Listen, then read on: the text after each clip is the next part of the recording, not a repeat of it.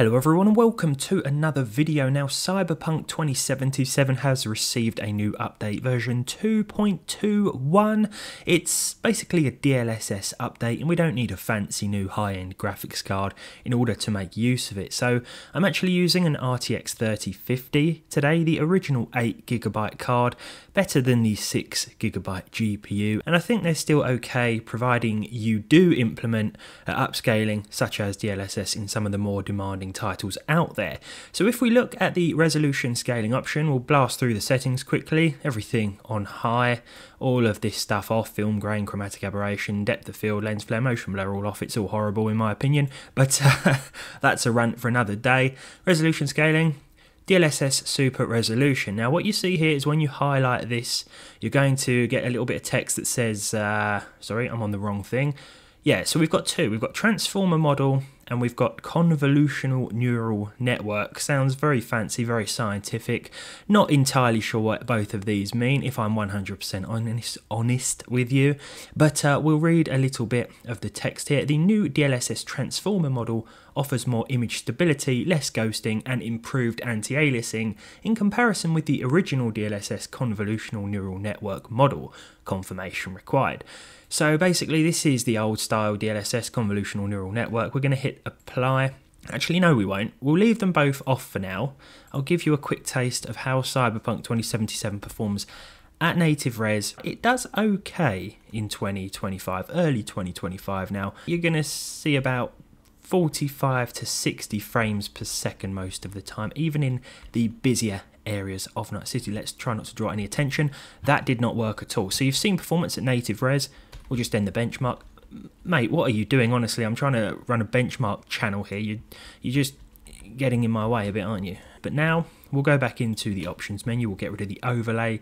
Go back to the graphics option, resolution scaling, we'll select DLSS, and we'll start with convolutional neural network, the old style uh, DLSS here. Quality mode is also enabled.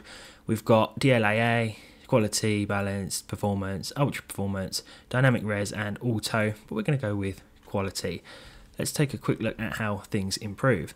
So as you can see, we've gone from roughly 60 frames per second a lot of the time to just below 80, about 70 to 80 frames per second. And in my opinion, this convolutional neural network DLSS still looks pretty good. Of course it does, at quality mode especially, still absolutely fine. There are a few dips and drops below 60 frames per second, as you can see here. But let's jump back into the menu and see what's changed.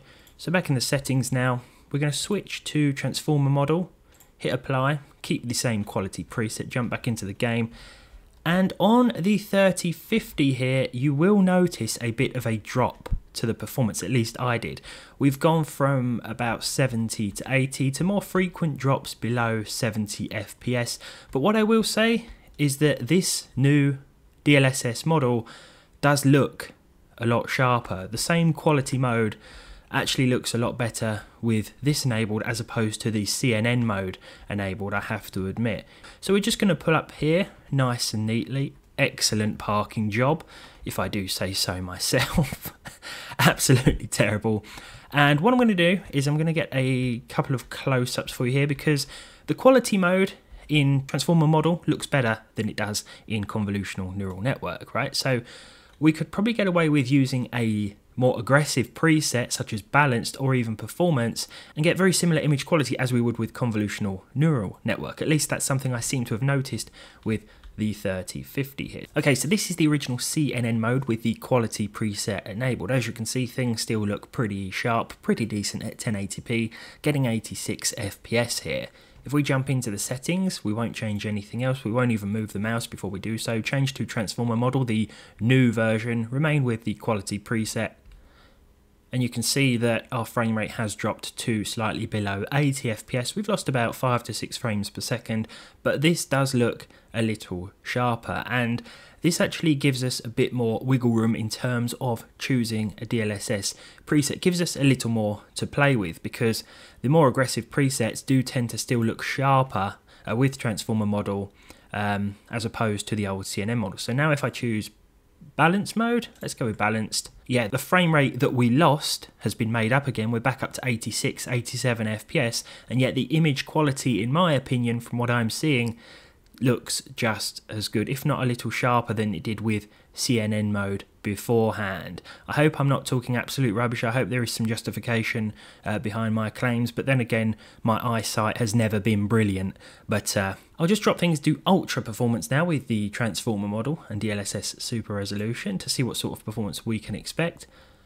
Okay, so we can notice a slightly softer image now, but just look at that frame rate, over 120 FPS. It's still going to be slightly less than with the old CNN model, um, with the equivalent preset, of course, but honestly, this doesn't look too bad at all, especially if we were to implement some form of sharpening.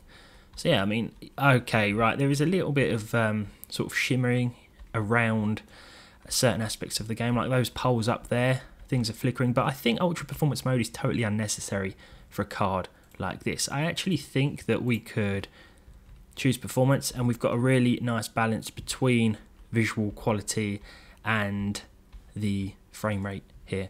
If we jump back in, in fact, turn the sharpness up to 3, yeah, that's actually really nice now. That's a good place to be, but I thought I'd just let you know that this update is out and available. You don't have to have a brand new Fancy 50 series card in order to make use of it. It's just implemented or baked straight into the new Cyberpunk 2.21 update. And uh, if you've got an Nvidia card, I recommend giving it a try. And if you do, let me know in the comments how it's worked out for you. But that's all for this one. Thank you very much for watching, and I'll see you next time.